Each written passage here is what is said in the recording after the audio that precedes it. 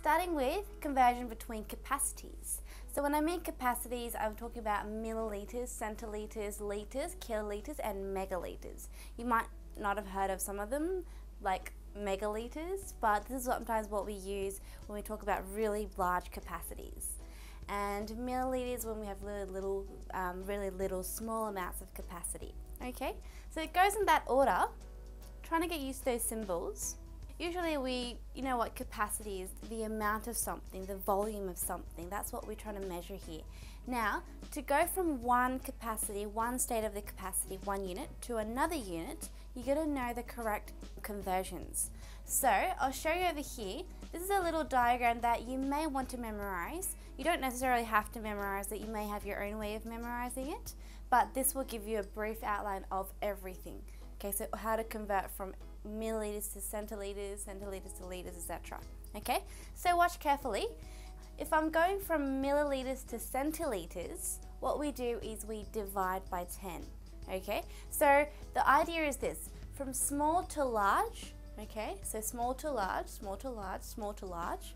From going from a smaller unit to a larger unit, we always divide, okay, we always divide. Small to large is division.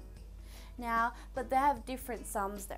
From milliliters to centiliters, we divide by 10, centiliters to liters by 100, liters to kiloliters, 1000, and kiloliters to megaliters is also 1000.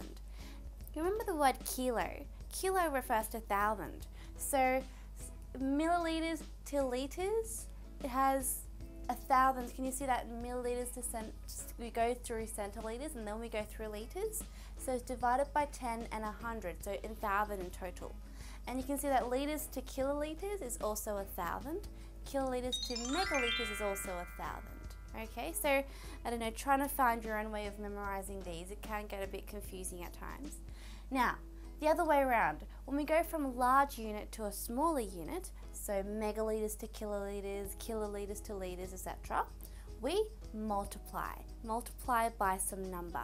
Now you're going to memorize these numbers. From megaliters to kiloliters by a thousand, it's actually the same number. Same number that we divided by from going small to large. So mega to kilo, a thousand. Kiloliters to liters, a thousand. Liters to centiliters by a hundred. And centiliters to milliliters by 10 okay? So guys, you won't have too much trouble in memorizing where we multiply by 10 and what's 100, what's 1000. I don't think that's going to be a big problem, but make sure you remember small unit to large, divide. Large unit to small, multiply. That's the key thing, okay? So let me go through some most important little facts that's pretty much already represented here is one litre is a thousand millilitres. The reason why I'm putting some of these down is because these are the ones that are most frequently used and that most frequently come out in exam questions. So remember this, remember the ones that I'm, just, I'm talking about next, um, very, very specifically. So one litre is a thousand millilitres. One litre is also a hundred centilitres. You can call it a hundred centilitres, okay? But you can also see from this diagram. One litre to centiliters, we say we say multiply. So 1 times 100 is 100. That's why 1 litre is 100. So you can pretty much get everything from this diagram.